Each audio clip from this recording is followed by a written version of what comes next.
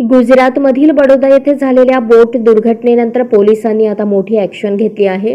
बडोदा येथील हरणी तलावात गुरुवारी बोट उलटून चौदा जणांचा मृत्यू झाला.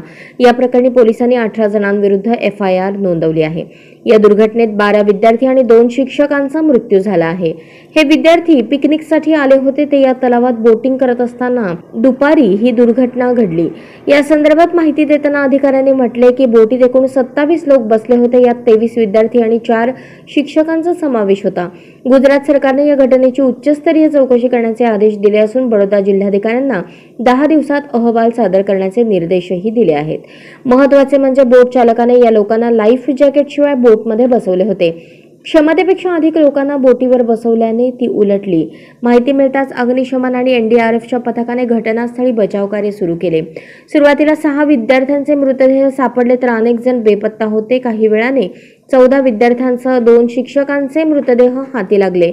सदर घटनेबाबत पंतप्रधान नरेंद्र मोदी यांनी शोक व्यक्त केला.